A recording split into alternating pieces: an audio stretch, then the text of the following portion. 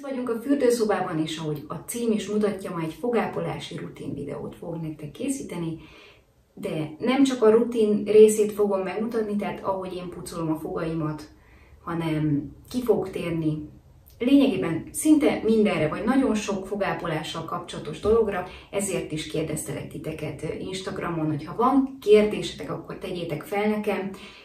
Sok kérdés érkezett, sok nem a témával kapcsolatos kérdés érkezett, és most mondom, hogy ez csak a fogápolásra fog kitérni ez a videó, tehát implantátumokról, fogpótlásokról nem lesz szó benne, és különböző, nem tudom, amiket kérdeztetek, de belinkelem az infoboxba azt a videót, azt a Q&A videót, amit már a, fog, a fogászatról csináltam, ott sok mindenre választ találhatok, és valószínű lesz még ilyen Q&A, úgyhogy ne aggódjatok. Biztos, hogy egyszer választ kaptok a kérdéseitekre. De az elején tisztázunk egy nagyon fontos dolgot. Én Holéni Zita vagyok, dentálhigiénikus. Nem fogorvos, nem fogtechnikus, dentálhigiénikus, hogy nekem ez a szakmám, nekem a fogápolás, tanítása a szakmám, emellett nyilván asszisztens is vagyok, de én ezt csinálom munkaidőmben. Úgyhogy amit én most itt mondok nektek, nyilván nagyon-nagyon sokféle variációja van a fogápolásnak, nagyon-nagyon sokféle technikája van a fogápolásnak. Én alapjáraton úgy gondolom, hogy én nem viszem az egészet túlzásba. Én úgy gondolom, hogy megpróbálom nektek leegyszerűsíteni az egészet, ugyanis az én rutinom is nagyon egyszerű, viszont nagyon effektív. Minél egyszerűbb, annál jobb, ugyanis nagyon könnyű elveszni ebben a fogápolás útvesztőjében. Mint mondtam, azért kérdeztelek titeket a videó előtt, hogy tudjam valahogy felépíteni az egészet, mármint, hogy mi az, amire inkább kíváncsiak vagytok, és mi az, amire nem, de alapjáraton a duma után meg fogjátok látni magát a fogmosási technikát, tehát a módszerét, ahogy én csinálom, a fogsejmezést, és olyan kérdésekre szájöblögető, meg mindenféle termékről beszélni fogok, mi hasznos, mi nem hasznos, mi az, amit el lehet hagyni, mi az, amit nem kell megvenni feleslegesen. De így a videó elején tisztázunk néhány alapvető dolgot a fogápolásról. Tehát sokan kérdeztétek azt, hogy hányszor kell egy nap fogat mosni, kétszer, egyszer, ötször, hatszor. Én azt mondanám, hogy kétszer elegendő, reggel és este. Azt is sokan kérdeztétek, hogy hányszor kell egy héten fogsejmet használni. Egy héten hétszer kell fogsejmet használni, minden este meg kell tisztítani azokat a fogközöket. Tudom, ezt soha senki nem szereti tőlem hallani. Higgyétek el, hogy ez az aprócska dolog, ez a fogsejem, akkor átdob a fogápolási rutinodon, és a fogaid jövőjén, hogy ez, ez, ez hihetetlen. Úgyhogy, mint mondtam, a napi kétszeri fogmosás elegendő, és napi egyszer, leginkább este érdemes az interdentális területeket, tehát a fogak közötti területeket, vagy fogsejemmel, vagy fogköztisztítóval megtisztítani. Azért nem mindig érvényes az a napi kétszeri fogmosás, pontosabban én úgy gondolom, hogy ez tartható, de ha fix fogszabályzója van az embernek, tehát hogy ragasztott fogszabályzó, akkor érdemes többször egy nap fogad mosni, legalábbis így a fogközöket és a fogszabályzót megtisztítani. Ez nem azt jelenti, hogy fogkrém, fogkefe, elegendő lehet egy ilyen kis fogköztisztító brekettek köré, hogy megtisztítsuk, ugyanis nyilván ez a készülék rá van ragasztva a fogaidra, erre ráragadhat mindenféle kaja, és egész nap ezt hordozod magaddal, úgyhogy én úgy gondolnám, hogy, hogy fix, tehát rögzített fogszabályzó esetén azért valószínű többet igényel, tehát több tisztítást igényel maga a fogszabályzó. De nyilván ez az illető életmódjától függ, tehát nekem is volt három évig fix fogszabályzom, és én sem tudtam napi háromszor fogat mosni, fogászaton dolgoztam, nem volt időm délben kimenni és fogat mosni. Teljesen elegendő volt a napi kétszeri fogmosás. Én arra figyeltem viszont, hogyha valamit ettem és valami beleragadt, tehát mondjuk csoki, karamell vagy valami hasonló veszélyes dolog, akkor azt kitisztítottam fogköztisztítóval, kiöblítettem vízzel, úgyhogy erre érdemes mindenképpen fogszabályzónál figyelni. Aztán sok olyan kérdést kaptam, hogy meddig tartson a fogmosás, kaptam olyan kérdést is, hogy gyerekeknél meddig tartson a fogmosás, és az illető arra volt kíváncsi, hogy hány percig. Addig tartson gyerekek a fogmosás, amíg kellően tiszták nem lesznek a fogak. Erre nem tudom azt mondani, hogy egy perc, nem tudom azt mondani, hogy 50 másodperc, és az se, hogy 5 perc.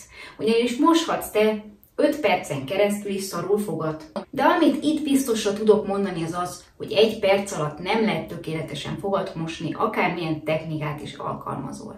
Tehát én úgy gondolom, hogy két-három percig azért minimum tartania kell ennek a rutinnak, de mint mondtam, az se baj, ha tovább tart. Nagyon fontos, hogy minden fogadat a lehető legtöbb elérhető felszínén meg tud pucolni. Én értem, hogy a gyerekekkel néha nehéz és sokkal jobbnak találod azt, hogy jó, akkor két perc a fogmosás, és akkor le van tudva az egész, de hidd el, az ő jövőjükbe fektetsz bele azzal, hogyha nyúzod őket, hogy mossák meg rendesen a fogukat, és ami nagyon fontos az az itt a gyerekeknél, mert most a gyerekekre is ki fogok térni, hogy a gyerek nem tudja egyedül megmosni a fogát. Például három évesen, négy évesen, de még nyolc évesen sem. Úgyhogy igenis, mint anya, apa, oda kell állnod mögé, és szépen utána lekontrollálni, és megtisztítani. Ez a téma engem mindig nagyon kiakaszt, mert munkám során nagyon sok olyan szülővel találkozom, hogy eh, megnézem a gyerek száját, megnézzük a gyerek száját, nem most jól fogad, és ilyenkor egyből odafordulok a szülőkhöz, anyához, apához, a gyerek nem most jól fogad. Nagyon sokszor erre ugye mi a válasz? Anyuka, apuka odafordul Jóskához, aki négy éves, és jól lebaszarintja, hogy Jóska, nem tudsz fogat mosni, jobban kell odafigyelned de nyilván nekünk azon nem is kell csodálkozni, hogy a szerencsétlen 4-5 éves Jóska nem tud rendesen fogat mosni. Ez természetes. Ez ugyan annyira természetes, mint hogy Jóska 4-5 évesen nem tudja levágni a lábkörmeit. Aztán, hogyha gyerekeknél tartunk, kaptam olyan kérdéseket, hogy fél éves gyereknél, ha van már X foga, elegendő-e csak a víz és a fogkefe? Én azt mondanám, hogy próbálkozz meg már fogkrémmel, az Elmexnek van ez a baby fogkrém, ami tökéletes babáknak. Nem kell sokat rárakni a fogkefére, tehát hogy nem kell túlzásba vinni, éppen csak egy kicsit. Mert nyilván a gyerek az még úgy annyira nem tudja mi az, hogy kiköpni, de ezek a baby fogkrémek amúgy is úgy vannak kifejlesztve, hogy semmi probléma nem lesz a gyereknek attól, hogyha lenyeli, úgyhogy én úgy gondolom, hogy nyugodtan már próbálkozhatsz vele. Még a gyerekeknél maradva jött egy olyan kérdés, hogy autista gyermeked van, nehéz a fogmosás, főleg főleg a hagyományos fogkefével, nem szereti a fogkrémek ízét. Én autista gyermekeknél és mondjuk mozgás korlátozott gyermekeknél, tehát akiknek nincs annyira még eh, kézügyességük, nem tudják rendesen használni a kezeiket. Én azt mondanám, hogy mindenképpen ruház be elektromos fogkefére, és nyilván neked kell tisztítani a fogait, de ezekkel a kicsi, tehát ezekkel az elektromos fogkefékkel, úgyis látjátok, nagyon kicsi fejük van, nagyon könnyen oda lehet férni minden foghoz, és én úgy gondolnám, hogy fogkrémből, meg hogyha nem viseli el mondjuk a mentolt, akkor lehet, mert túl erős, akkor lehet mentolmentes fogkrémet venni, azt hiszem az Elmexnek is van. És erre a fogkrémre még ki fogok térni bővebben most a videóban, az Abakernek van ez a nagyon szuper fogkréme, én ezt javasolnám mindenképpen, mert nincs erős íze, nincsenek benne ilyen törzsi anyagok, tehát ilyen abrazív anyagok, és nagyon szuper akkor is, hogyha már a fogzománc kicsit roncsolódott, tehát hogy én úgy gondolnám, hogy ha úgy érzed, hogy nem tudod százszázalékosan megtisztítani a gyerek fogát, akkor mindenképpen valami hasonló fogkrémet érdemes. Tudom, hogy nehéz, de, de mindenképpen következetesnek kell lenned, és, és akkor úgy nem gondolnám, hogy probléma lesz belőle. De térjünk is rá a gyakorlati dolgokra, eszközökre, fogkrém, fogkefe. Fogkefe. Nagyon sokan kérdezitek, hogy manuális, elektromos, szonikus, melyik a legjobb. Én úgy gondolnám, hogy érdemes elektromos vagy szonikus fogkefére beruházni, mert ezek alapjáraton azért jobban tisztítják a fogakat, pontosabban úgy mondanám, hogy könnyebb velük fogad mosni, és jobban odaférsz a kis résekhez, mindenféle hajlatokhoz. Viszont én nem használok elektromos fogkefét, sem szonikus fogkefét, tervbe van, de én nagyon szeretek manuálisan fogat mosni. És én úgy gondolom, hogyha te a manuális fogkefével tudsz kielégítően jól fogat mosni, akkor ezzel nincs semmi probléma. Én tudom magamról azt, hogy én tudok jól fogat mosni, és én ezt ajánlom mindenkinek. Tanuljunk meg jól fogat mosni. Onnantól teljesen mindegy, hogy mit használunk. De azért ajánlom az elektromos fogkefét, a szonikus fogkefét, mert az helyetted is végez mozgást, kisebb, könnyebb vele fogatmosni, de alapjáraton, ha bármi kötél szakad, mindenképpen érdemes normálisan megtanulni fogatmosni egy rendes, hagyományos fogkefével. és ott tartottunk, hogy fogkefe. Az én fogkefém az mindig a Curaproxnak az 5460-as fogkeféje, ez az Ultrasoft fogkefe. Én ezzel nagyon jól meg tudom tisztítani a fogaimat, nem sértem meg vele az ínyemet, és évek óta ezt használom, nagyon elégedett vagyok vele, így néz ki, és mint mondtam, Ebből van többféle fajta, tehát hogy van itt nekem egy, ezt mondjuk fogszabi tisztításra szoktam használni, mert egyszer rosszat vettem, ez az 1560-as. Ez is soft, tehát ez a soft verzió, de ez azért jóval keményebb, mint az ultra soft. Azért megtartottam magamnak a fogszabályzom megtisztítására. Kellemes velük fogat mosni, eleinte fura, mert nagyon puha, de higgyétek el, hogy nem függ attól a fogmosás eredménye, hogy mennyire puha a fogkefe, minden a technikán múlik. Aztán még egy nagyon fontos dolog a fogkeféknél. Ez nem fogkefe már, ez kukába való. Tehát, hogy ennek vége. Így néz ki egy normális, egészséges fogkefe, és így kell kinéznie. Azt szokták mondani, hogy hát három havonta érdemes cserélni, meg évszakváltáskor, meg mit tudom én. Ehhez a szabályhoz egyáltalán nem ragaszkodnék, így magamból kiindulva, ugyanis én ezt a fogkefét szerintem 6-7 hete használom, és nyilván látszik az, hogy én jól rányomom a fogaimra, én, én erősen mosom a fogaimat, ezért is vettem az ultrasoftot belőle, mert nem akarom megsérteni az ínyemet, de nekem nem elegendő, hogyha három havonta kicserélem a fogkefét. Úgyhogy én mindenképpen azt mondanám nektek, hogyha látjátok, hogy nem párhuzamosak egymással a sörték, akkor érdemes kicserélni. És nyilván nem azt mondom, hogy jól látszik rajta, hogy használtad, de de, de ez már nagyon gáz. Aztán még mikor kell fogkefét cserélni, ugyanis nem csak akkor kell fogkefét cserélni, mikor elhasználódik, hanem akkor is, hogyha volt valamiféle betegséged, meggyógyultál, és utána érdemes egy új fogkefét venni, ugyanis a sörték azok beszívják magukba a baktériumokat. Tehát, hogyha most épp koronás volt, akkor érdemes egy új fogkefét most venned, és azzal új életet kezdened. Sokan szokták így kifőzni, meg, meg betenni alkoholba, ez is megoldás lehet, de én úgy gondolom, hogy legegyszerűbb lecserélni. Aztán én még szájhigiénés kezelés után is szoktam javasolni azt, tehát hogyha valakinek leszedem a fogkövét, és ingyulladása van, és valamiféle terápiát írok fel neki, én úgy gondolom, hogy akkor is érdemes fogkefét cserélni, ugyanis azok a baktériumok, amik a szájban vannak, a fogak körül vannak, a fogkövön vannak, az ínyben vannak, azok úgy meghalnak a szájhigiénés kezelés alatt jobb esetben, és ezért is szoktam azt mondani, hogy ilyenkor is érdemes a szájhigiénés kezelés után egy friss fogkefével indítani, nem pedig a régivel. Most kicsit gyorsan rátérek még a gyerekekre, kisbabákra. Van ez az újrahúzható fogkefelszel, nagyon könnyedén meg lehet tisztítani a kicsi pici babáknak az apró fogait, ez egy szuper dolog. Aztán én úgy gondolom, hogy ha nő a gyerek, akkor érdemes gyerek elektromos fogkefére beruházni, mert ezzel is sokkal könnyebben tudja tisztítani a fogait. Aztán fogkefe rögzített fogszabályzó esetén érdemes elektromos fogkefét használni, meg ilyenek. Nem érdemes elektromos fogkefét használni, mert a fejet az kidobhatott három használat után.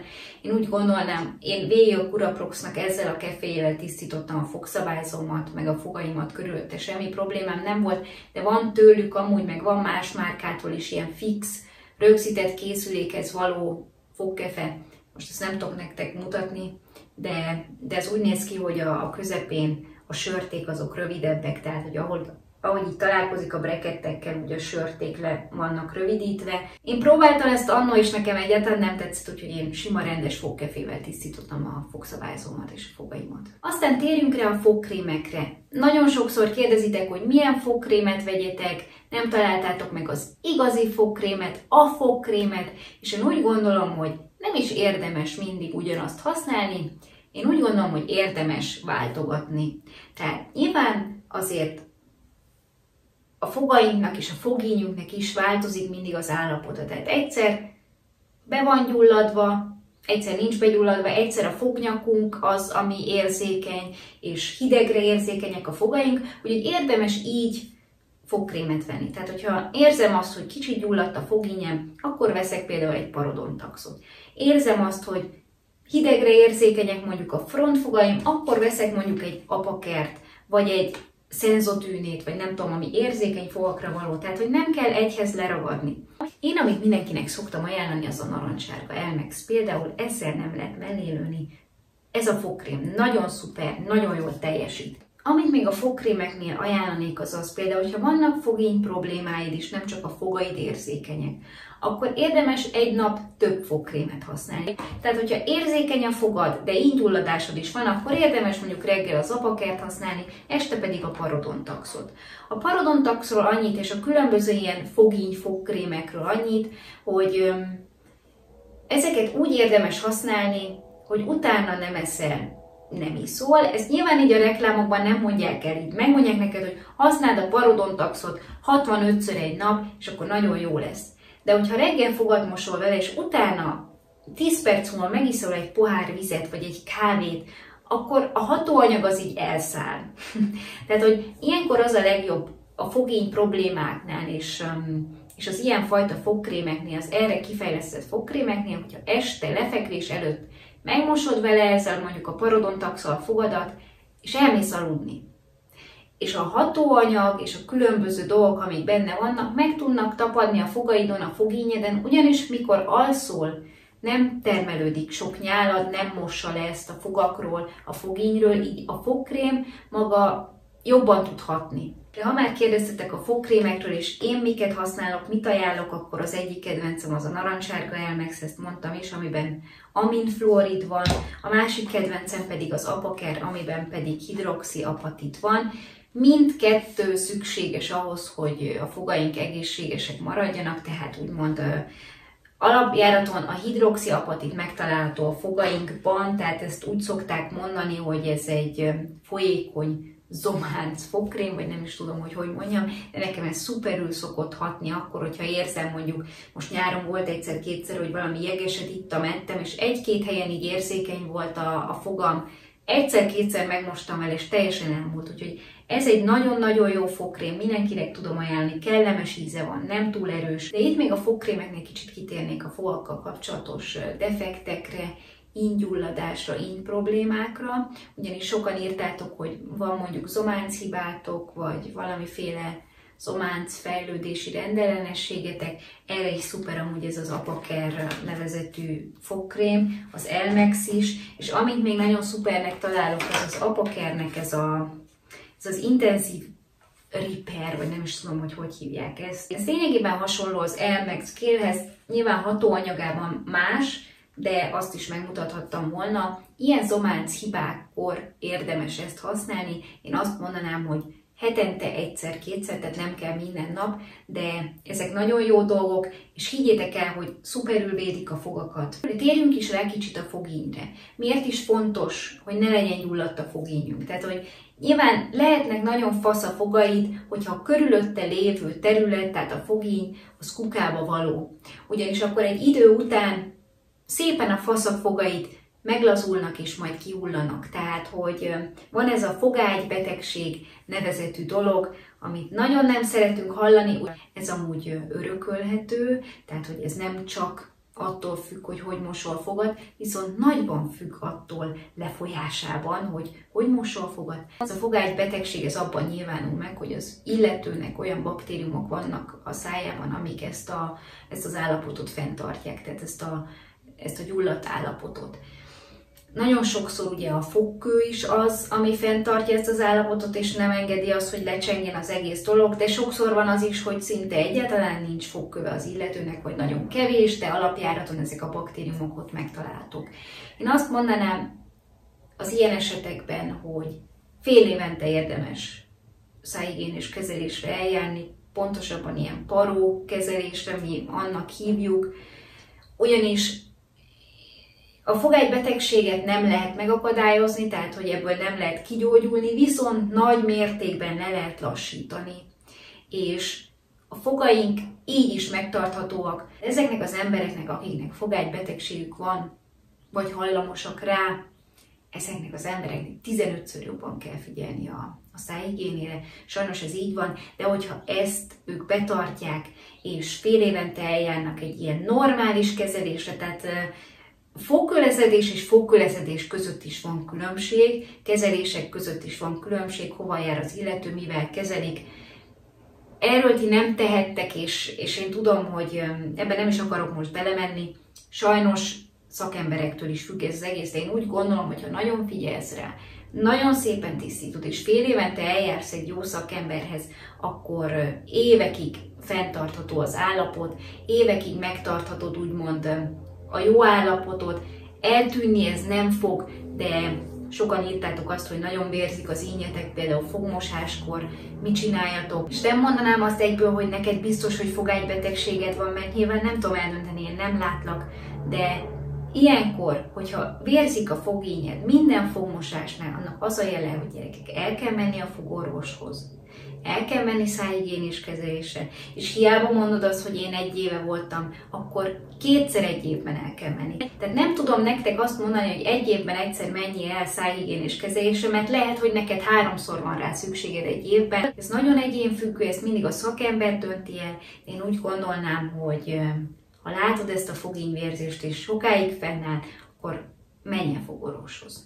De maradnék még kicsit az ingyulladásnál, ugyanis nem csak a fogágybetegségtől alakulhat ki ingyulladás, hanem akármi mástól is, tehát megsérted, akármi. Nekem is szokott egy-egy fognál kialakulni, és akkor mindig a gengigért használom, tehát őt. Naponta négyszer-ötször is felkenem a területre, és viszonylag hamar el is múlik akkor az induladásom. Én ezt nagyon tudom mindenkinek ajánlani. De ugranék is most egyet a fogsejmekhez és a fog köztisztításhoz. Sokan kérdezitek, hogy érdemes-e fogsejmet használni, használ-e valamit a fogsejem, vagy inkább fogköztisztító, vagy egyik sem. Nem is értem a kérdést, tehát hogy ez nagyon-nagyon fontos a fogsejem, higgyétek el, mert ezt tapasztalatból tudom, hogyha valaki bejön hozzánk mondjuk egy nap a 70 páciens közül mondjuk 30-nak biztos a két fog között van valami lyuk. Tehát, hogy, hogy ezt így nektek most megmondom, hogy a fogak azok a két fog között hajlamosak kiukadni, ahogy egymáshoz érnek, ugyanis ott nem tudsz bevenni a fogkefével. Hiába mutatja a reklám, hogy ez a szuper fogkefe most itt 30 ezer forint, és ez bemegy a fogközökbe, nem megy be a fogközökbe. Kizár dolog, hogy az oda bemegy. Ami bemegy a fogközökbe, az a fogsejem. Vagy fogköz tisztító, nem is tudom, hogy lehet, hogy van itthon, várjatok csak. Igen, és közben találtam is egy interdentális kefét itthon, tehát fogköztisztító kefét, de ez egy óriási példány, tehát ugye ezt fogszabi, a brekettek tisztításakor használtam, de nyilván ebből vannak nagyon vékonyak is, tehát amik bemennek a fogait közé, ezek is jók. Nem akarok hülyeséget mondani, de a Curaproxnak is van egy ilyen kis olyasmi, mint egy kis fogpiszkáló, és azt így bedugod a fogközökbe, és megmutatja, mm, hogy melyik szint kell majd a keféből venned, tehát hogy mekkora a rés a fogait között, így könnyebb eldönteni, hogy mekkora vékonyságú kefét válasz. De térjünk vissza a fogsejmekre, melyik a legjobb, miért vegyek, stb. stb. Én úgy gondolnám, hogy ez egyén függő, mert például a párom, ő az Oral-B-nek ezt az Essential Floss fogsejmét szereti, én ezt utálom. Én ezért csak megsértem az ínyemet, úgyhogy én mindig ezt az Expanding Floss-t szoktam venni a, a Gumtól. De van más márkának is, tehát az Oral-B-nek is van talán a, a Satin Floss, vagy nem tudom, hogy hogy hívják, az egy kicsit vastagabb, tehát hogy azt, azt is tök jó használni. Én ezeket a nagyon vékonyakat, megmondom őszintén, nem szeretem, mert könnyebben megsértem velük az ínyemet. És meg is mutatom ezt a gamos fogsejmet. Láthatjátok, hogy ez vastagabb, és ez egy kicsit nyúlik. Nem tudom, hogy mennyire látjátok, de puha az egész. Kicsit vaxolt ez is, de sokkal puhább, nem ez a zsinóros érzetű, úgyhogy én, én ezt nagyon szeretem.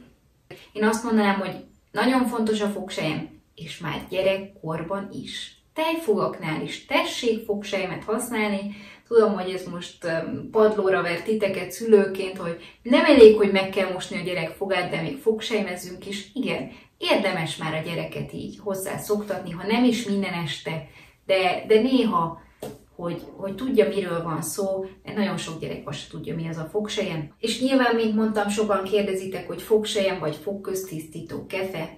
Ez egy ilyen egyéni dolog. Ki melyiket szereti? Én azt mondanám, hogy ha már vannak fogművek a szádban, tehát hogy implantátum, hidak, akkor érdemes ezzel az interdentális kefével ott tisztogatni, vagy van ez a superfloss nevezetű dolog, amit be lehet vezetni így a, a hidak alá, és ott kitisztítani, tehát hogy erre is érdemes figyelni, de hogyha nem szeretnél ezzel szarakodni, akkor mindenképpen érdemes a fogköztisztító kefét kipróbálni. Még a fogköztisztításnál maradva, nagyon sokan kérdezitek azt, hogy érdemes-e szájzuhanyra beruházni, jó-e a szájzuhany, stb. A szájzuhanynál nagyon-nagyon kell arra ügyelni, hogy hogy használod, ugyanis hogyha nem párhuzamosan használod a fogaiddal, hanem már egy kicsit bedöntött felfelé, akkor a lepedéket nagyon könnyen beszuszakolhatod vele az ínyed alá, ami nem jó. Ha gondolkodsz rajta, hogy megvennéd, szerintem felesleges. Szerintem használj inkább fogsejmet, azzal egyszerűbb, de úgyis meg fogom majd mutatni, hogy hogy kell a fogsejmet rendesen használni. Amit még nagyon-nagyon sokan kérdeztek, az a szájöblögető. Kell-e használni? Érdemes-e? Felesleges-e? Én azt mondanám nektek, hogy ha szeretnéd, akkor használj, de én úgy gondolom, hogy legalábbis az én rutinomhoz nem tartozik ez hozzá, mert teljesen kielégítő az, hogyha rendesen megmosod a fogaidat, és fogsejmezel. Sokan mondják azt, hogy szeretik az ízét, hogyha utána ilyen friss íz van a szájukban, miért ne, nyugodtan használhatsz ilyen hasonló liszterin, meg ilyeneket, arra viszont figyelj, hogy ne legyen benne klorexidin, tehát hogy azt hiszem, hogy ebben nincsen, ugyanis ami klorexidin tartalmaz, az nagyon durván elszínezheti a fogaidat. És ezt nem azért mondom, mert a klorhexidin a szar. De klorhexidin tartalmú szájöblögetőt kúra-szerűen szoktunk mi felírni, nem pedig mindennapi használatra. Tehát, hogy érdemes erre figyelni, ugyanis durván elszínezi a fogakat, és itt viszont visszajön a képbe az ingyulladás. Tehát, hogyha durva ingyulladásod van, akkor érdemes kúra-szerűen szájöblögetőt használni, méghozzá például a Curacetnek az ADS 212-esét, vagy van többféle erősség belőle, ezt mindig a szakember dönti el, hogy melyikre van szükség, de mint mondtam, két hétnél többet ezeket nem szabad használni, mert elszínezi a fogakat, valaki csak egy hetet használja, ezek azért erős hatóanyag tartalmúak, indulladás ellen tökéletesek, de vigyázni kell velük. És én úgy gondolom, hogy így az alap dolgokat talán kivégeztem, de nem vagyok benne biztos, viszont van még egy termék, amit meg szeretnék mutatni, mivel sokan vagytok, akiknek volt fogszabályzójuk, és éjszakai fogszabályzót kell hordaniuk, vagy lehet, hogy van olyan nézőm, akinek protézise van, kivertő fogpotlása van, ezeknek a tisztítások is nagyon-nagyon kell figyelni. Ugyanis mindenki úgy van vele, hogy jaj, hát két protézisem van, leszarom. A protézis az begombásodhat, arra ugyanúgy rárakódhat fogkő, mint a fogaidra, és kusztustalanná válhat. Ugyanúgy a kivehető fogszabályzó is. Ugye mindenképpen ezt javasolnám nektek a korregától, ezt a korega hab, talán Magyarországon így lehet venni. Így néz ki, és ezzel és egy protézis tisztító fogkefével, vagy egy keményebb fogkefével. Mint mondtam, nekem ez a Curaproxos keményebb fogkefém van, tehát a habbal és a fogkefével nagyon jól meg lehet tisztítani a protéziseket, kivehető fogpotlásokat, kivehető fogszabályzókat. Ebbe bele tartozik az átlátszó sín is. Tehát a sínes fogszabályzásnál is, vagy a sínes riténernél is szuperül lehet ezzel tisztítani. Nagyon jó illata van, nagyon friss lesz utána maga a protézis, fogszabályzó, stb. Elveszi ezt a bűzös nyál szagot róla, valljuk be ez ilyen, és megöli a baktériumokat, nem bántja magának a protézisnek az anyagát, vagy a fogszabályzónak a fém részeit, úgyhogy ezt nagyon-nagyon tudom ajánlani nektek. És azt hiszem, hogy most a dumával meg is vagyok, és felveszem nektek, hogy én hogy mosom a fogaimat. Nyilván nem tudok közben majd beszélni és utasításokat adni, és nagyon remélem, hogy meg tudom úgy csinálni, hogy jól érthető legyen, és még lássátok is, hogy hogy gondolom az egészet.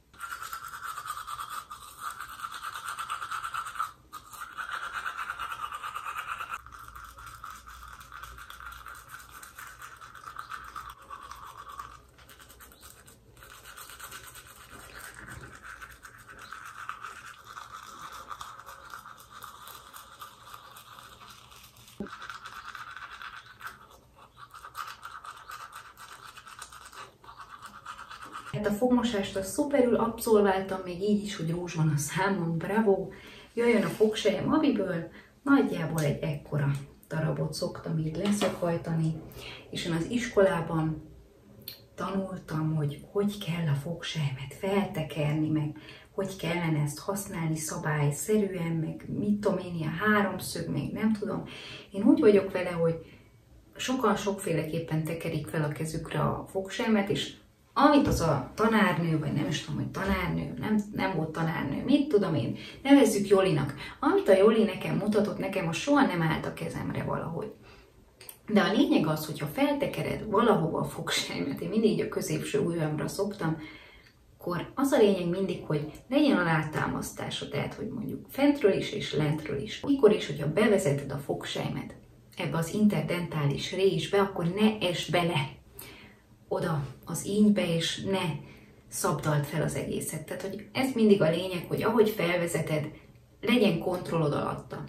Én még amit szoktam csinálni az az, hogy most amúgy megmutatni, hogy éppen fogsejmezek, hogyha bevezetem, akkor nem nyomom be, tehát hogy inkább így előre-hátra húzogatom, hogy ahol összeér a fog, tehát ahol a legnehezebb átolni a fogsejmet, ott viszonylag lassan menjen át tényleg, hogy, hogy meg tudjam azt akadályozni, hogy felcsúszon teljesen az agyamig.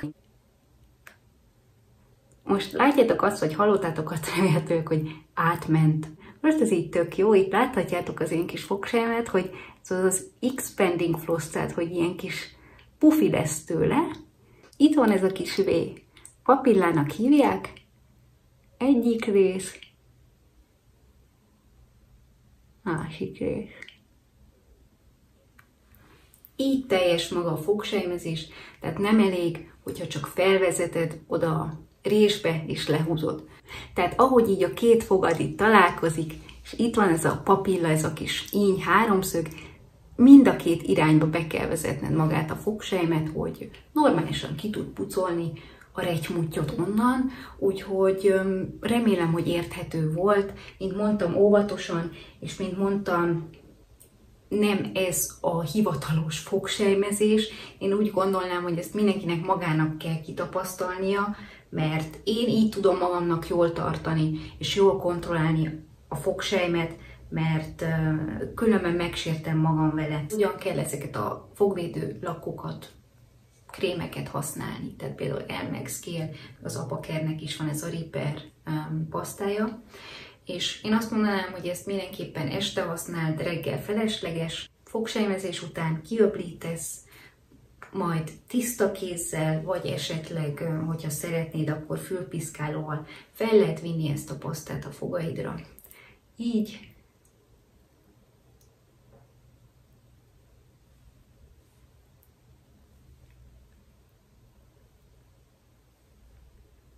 És én most nem fogom mindenhova felvinni, csak így szemléltetésképpen ide az első fogaimra, letörlöd a szádról, és mint láthatjátok, hiába beszélek és nyálatszok még így nektek, azért ez így megtapad a fogakon, és igazából nincs semmilyen íze, tehát hogy ezt én nagyon szupernek találom, mert az Elmex van valamiféle ilyen fura íze, vagy nem tudom, ilyen gyümölcsös, ilyen gagyi íze, amit annyira nem szeretek, de annak is egy idő után így elszáll, de így el lehet menni lefeküdni nyugodtan, így erre az állapotra be lehet tenni nyugodtan a fogszabályzó készüléket,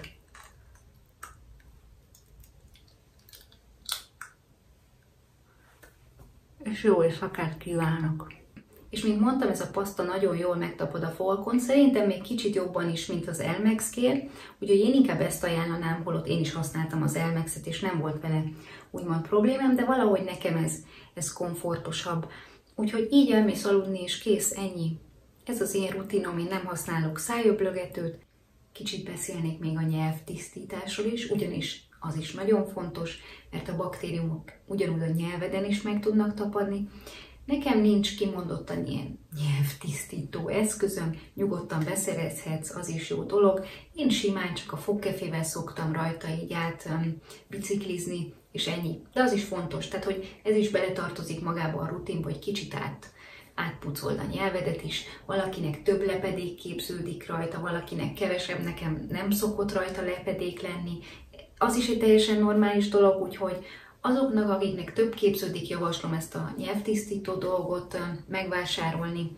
És igen, ennyi lett volna az én szájápolási rutinom. Remélem, hogy azért valamivel gazdagabbak lettetek, remélem, hogy sikerült benneteket is kicsit így motiválnom, hogy fejleszítek a fogápolási rutinotokat. Úgyhogy srácok, ennyi lett volna a mai videó. Tudom, hogy a csatornán legtöbbször divatról és ilyen felszínes dolgokról beszélek, de higgyétek el, hogy nekem ez a munkám, fogászat a munkám. És hogyha eddig elhanyagoltad a fogápolást, akkor itt az idő arra, hogy nekiálljál és figyeljél rá, és higgyétek el, hogy a fogápolásra megéri időt fektetni, ugyanis hogyha elhanyagolod, akkor a későbbiekben rengeteg pénzed rá fog menni a fogpotlásokra, akár még egészségügyi problémáid is lehetnek, hogyha hiányzó fogaid vannak, ugyanis ez az emésztésnek az első lépése, hogy megrágd a kaját, tehát hogy nagyon-nagyon sok szar dolog jöhet a szarfogakból. És nem csak az esztétika fontos, nem csak az a fontos, hogy az Instán az első hat fogad nagyon szép fehér legyen,